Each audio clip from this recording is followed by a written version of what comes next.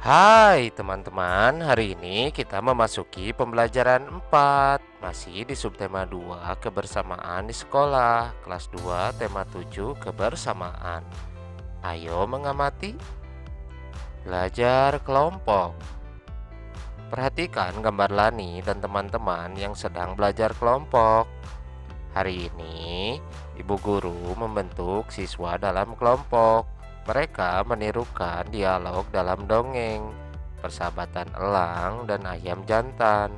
Setiap kelompok mempraktikkan dialog. Benny berperan sebagai elang. Siti berperan sebagai ayam betina. Edo berperan sebagai ayam jantan. Setiap kelompok bekerja sama mempraktikkan dialog dongeng. Semua saling membantu teman. Ayo bermain peran. Lakukan dialog elang, ayam jantan, dan ayam betina bergantian di depan kelas.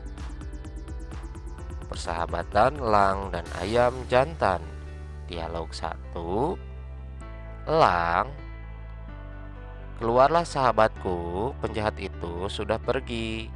Ayam jantan. Terima kasih elang, engkau telah menyelamatkanku elang. Kenapa sahabatku? Tampaknya engkau sedih sekali. Engkau sakit. Ayam jantan. Tidak, aku sehat. Aku mau bertanya padamu, sahabat. Elang. Apa kawan? Tanyalah. Ayam jantan.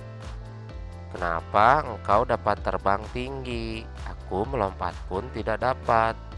Bukankah kita sama-sama burung?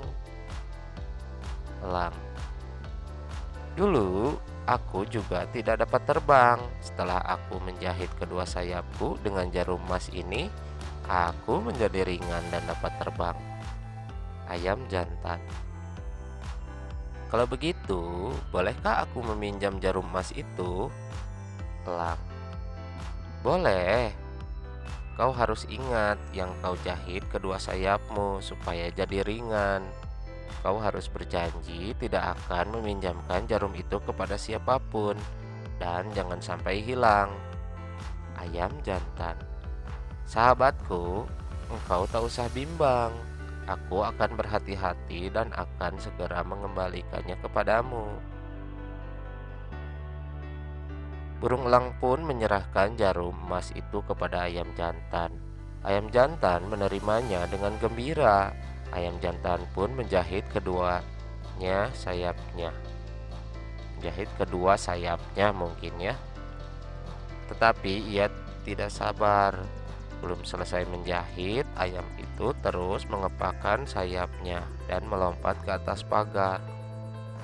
Kok kok kok kok kok Aku dapat terbang. Ayam jantan itu rupanya diperhatikan oleh ayam betina yang kebetulan lewat di situ. Dialog 2 Ayam betina Bagaimanakah engkau bisa terbang? Ayam jantan Aku menjahit sayapku dengan jarum emas ini Ayam betina Boleh aku pinjam? Ayam jantan Pakailah dan setelah itu lompatlah di sisiku. Ayam betina cepat-cepat menjahit sayapnya dan berkotek sombong.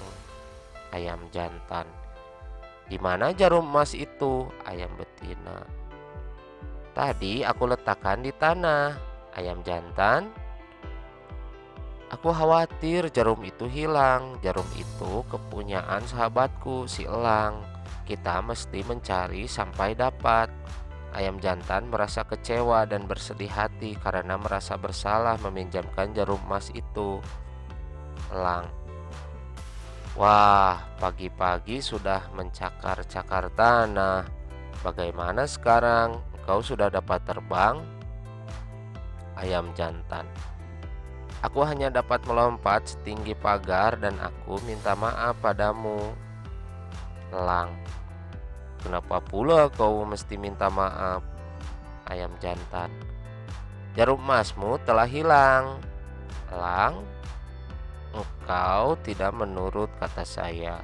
Engkau telah ingkar janji. Aku tidak mau bersahabat denganmu lagi. Ayam betina bertelur dan menetas enam ekor anak ayam jantan. Kau harus menjaga anak-anakmu agar jangan dibiarkan berjalan sendiri-sendiri. Ayam betina, hai ayam jantan, aku melihat elang terbang rendah. Ayam jantan, mungkin dia akan menyambar anakmu karena kau telah menghilangkan jarum emas miliknya. Elang pun menyambar seekor anak ayam.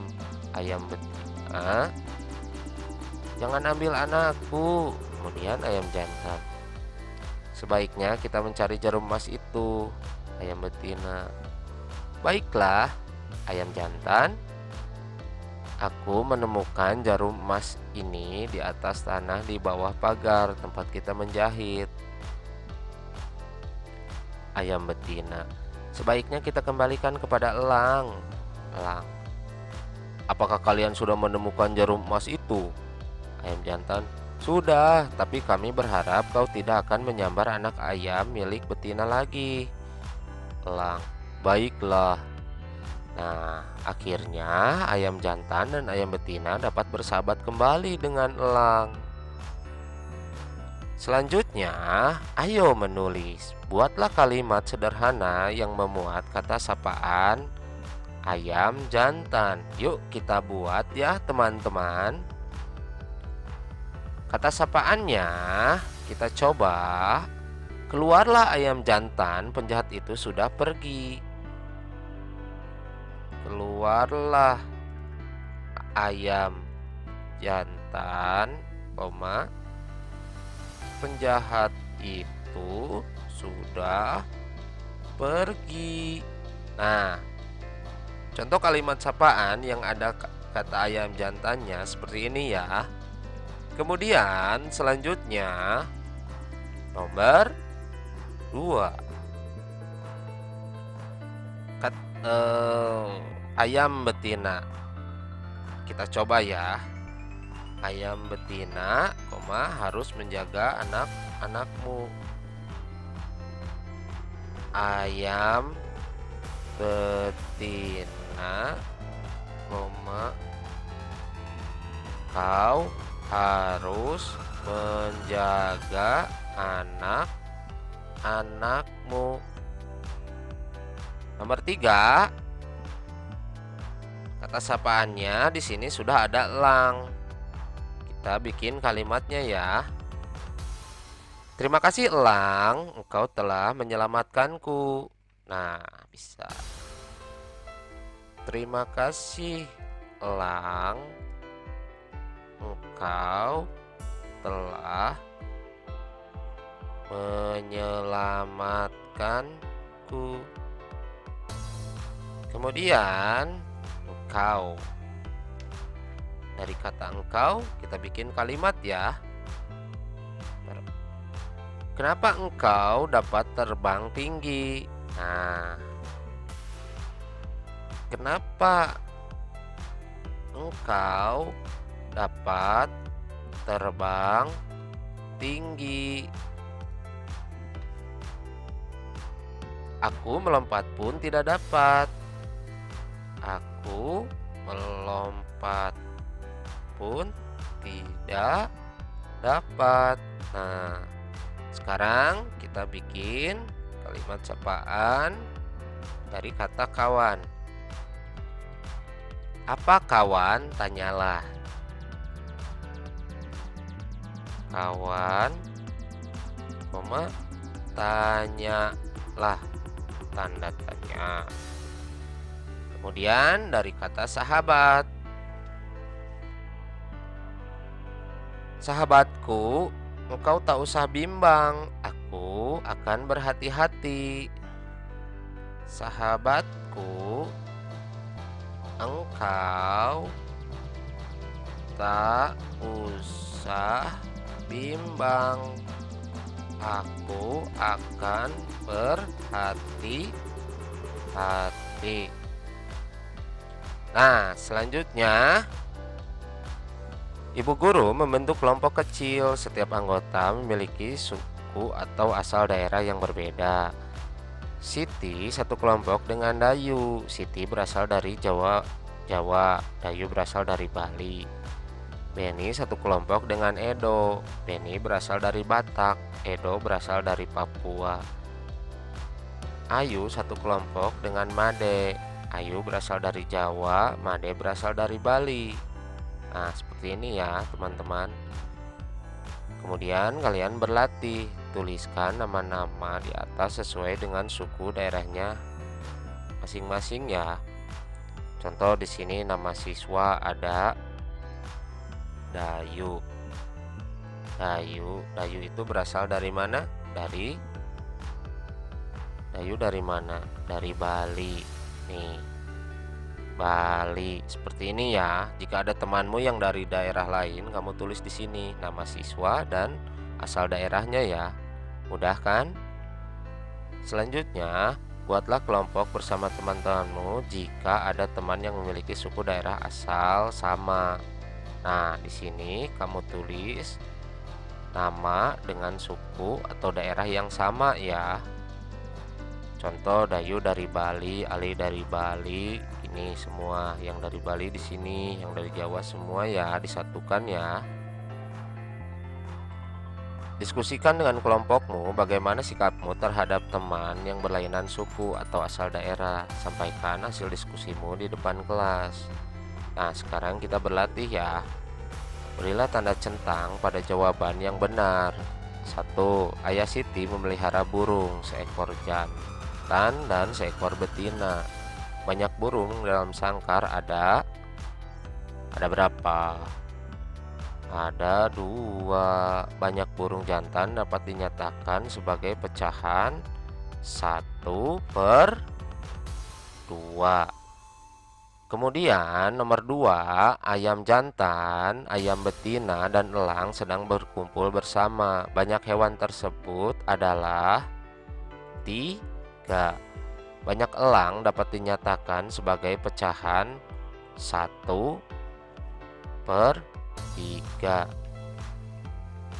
Ibu memiliki beberapa jarum. Banyak jarum di atas adalah 4.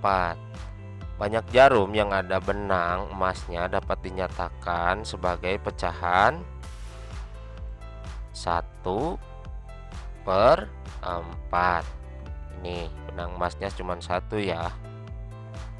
Selanjutnya pasangkan pecahan dan gambar yang sesuai.